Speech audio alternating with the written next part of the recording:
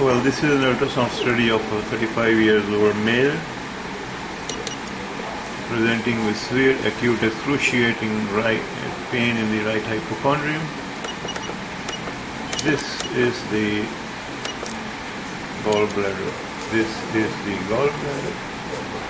This is the sludge within it and you can see multiple tiny echogenic particles within the sorry within the sludge as well as within the anterior wall fixed this is the portal vein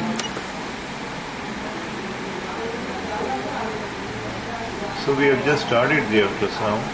Let's move on and see what else we can see. Or is there. Now you can see that there are multiple tiny echogenic particles and if I magnify the view you will see a very typical V-shaped artifact which is a short reverberation artifact. We call it as a comet tail artifact.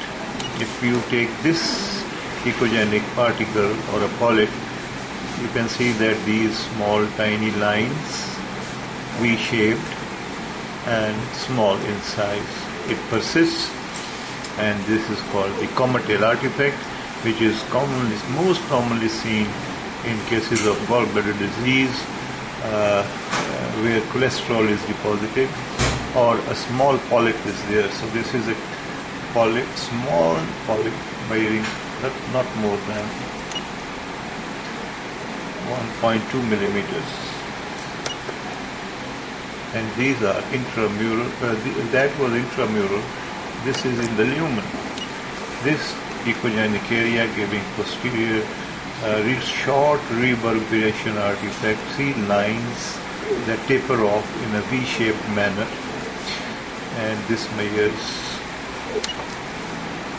3.4 millimeters and uh, this is a cholesterol calculus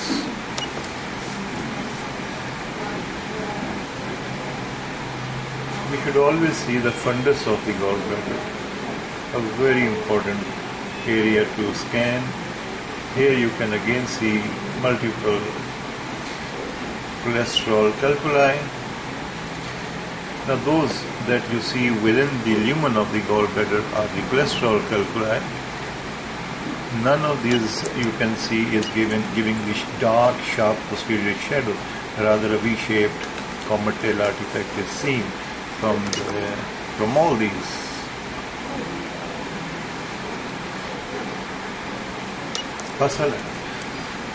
Now here if you see there are few uh, echogenic, shiny echogenic, shiny echogenic particles with the anterior wall as well as with the posterior wall and uh, they also give uh, comet tail artifact.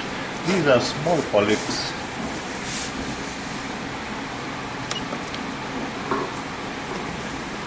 Now patient in left lateral decubitus posture. see the movement of these uh, particles all are cholesterol you see these are all cholesterol calculi this is small amount of debris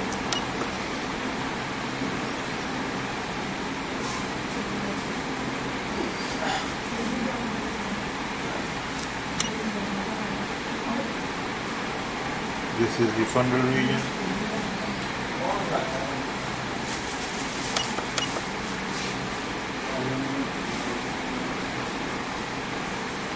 You can see the movement of the particles within the lumen as well as you can see there are particles that are fixed with the anterior wall and there are multiple particles fixed with the posterior wall as well. One of these is here, this one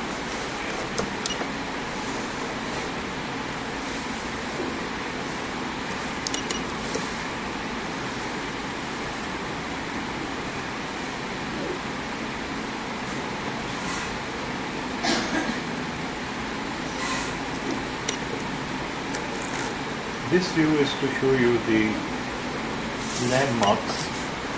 This is the portal vein at the neck of the gallbladder. This is the hepatic artery in transverse section. This is the common bile duct.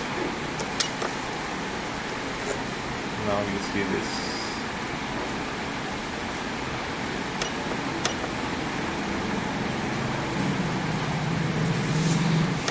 You will see a row of dense, shiny echogenic particles attached with the anterior wall. These are small polyps. They are all giving comet tail artifact. They are condensed more in the lower part of the anterior wall and they are fixed. They don't move. So this is a case of uh, adenomyomatosis or more preferably this is a case of cholesterolosis cholesterolosis of the gallbladder. Now this is the liver, it's normal. We don't see any evidence of intrahepatic bile ectasia at present time of the ultrasound. There is no dilation of the common bile duct, no intrahepatic bile duct ectasia, pleural fluid kidney, part of the upper pole of the kidney and the liver, normal. Now here we come at our case. This is the gallbladder. Rest, I think you can make it yourself that these are small polyps. These are cholesterol calculi. This is small amount of debris within the gallbladder lumen. Then this is a case of cholesterolosis of the gallbladder with the possible differential of adenomyomatosis that cannot be ruled out in uh, ultrasound.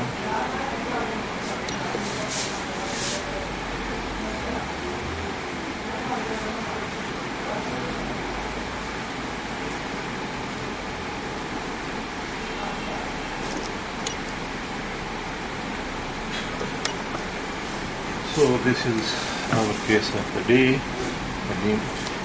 However, the advanced stage leads to you know uh, a condition which is called Rokitansky-Aschoff sinuses. However, I will not say that it is present over here as there is no sign of acute cholecystitis and in most of these cases the wall is not thick and we see that the wall is not thick it does not measure more than 2.5 millimeter and there is no sign of acute cholecystitis in this. No fluid is seen around the wall of the gallbladder. Uh, no obstructive element is seen, lopinus.